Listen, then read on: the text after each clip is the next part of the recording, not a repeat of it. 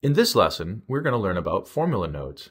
Formula nodes allow users to implement equations using text-based instructions. The way it is used is by adding variables which act as inputs and outputs. Within the formula node, a syntax similar to the C programming language is used. This will allow you to do simple arithmetic or more complex equations using loops and branching. We will create a similar formula we used in the sub-VI previously, the Pythagorean theorem. First, we will place the formula node on the block diagram. The formula node can be accessed from the Functions palette under Structures or from the Quick Drop menu. Unlike what you have seen so far, this is not just a regular block. It can be resized. However, don't worry about estimating the perfect size now. The node can be resized at any time. Now we need two inputs. Right-click on the formula node and select Add Input. Our first input is A.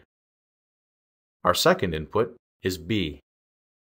We will now add an output by right-clicking on the formula node and selecting Add Output. Call this output C.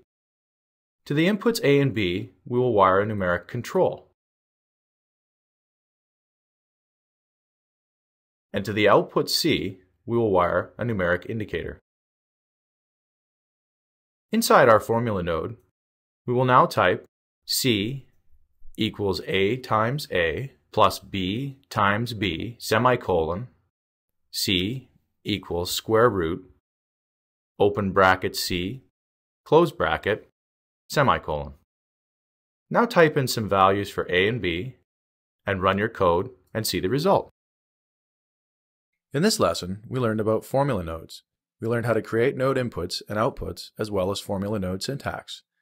For more information and examples, search the LabVIEW Help menu for Formula Node.